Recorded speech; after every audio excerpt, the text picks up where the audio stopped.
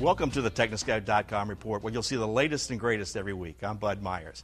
Well, it is a special season and we got to have great toys for our kids. So here's some ideas that may be a little bit unique and things that you haven't seen. Things that may be reminiscent of the past, but with a little different twist.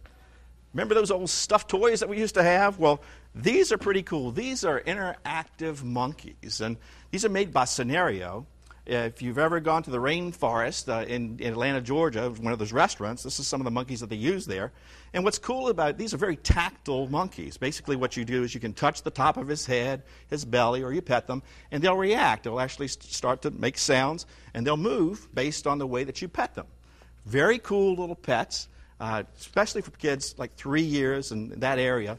They'll love these. It's just enough motion uh, that won't drive you real crazy at home if you want to have it for a few months of playing. Does a great job. Now, they've actually done something even better now. This is called Scoozy. And this is sort of the second generation of, of product. This is a product that has artificial intelligence. Now, basically, what this product does, everyone is different. They look different and they act different. And what they'll do is when they come to you, you start playing with them. Now, it has a light sensor, it has sound sensors, and as you play with them and feed them, their personality changes. Now, if he's miss a meal, forget it, because he's going to get upset, then you're going to need to make that up to Scoozy. These are great little pets. Now, they're not always like you would, would have them. They are soft, but because they move all over, they have a little skeletal system in here that's made of plastic. So be aware of that. It's not something you can throw around but they are just great, great little pets. And they're called Scoozy. By the way, if you've got someone who just have to go outside and play, this is the coolest thing. Simply the Superfly monkey. Just like the old airplanes that we used to have.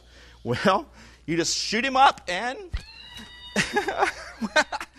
there you go. He'll who knows where he's going to land. The Superfly monkey, that's only $10. Can't go too wrong with that.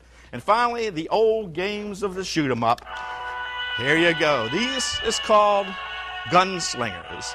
And what they'll do, these banditos, well, those banditos will shoot at you. The one that shoots, you have to shoot him three times before he shoots you, or you're dead. Your gun goes dead, and you can't play anymore. $49. You can't go wrong with any of these toys. They're all made by Senario, by the way, in Chicago. If you have any questions, well, you can always go to WTVR.com or Technoscout.com. We'll be glad to answer any of your questions for you. Till next week, I'm Bud Myers. Have a great, great holiday and Merry Christmas.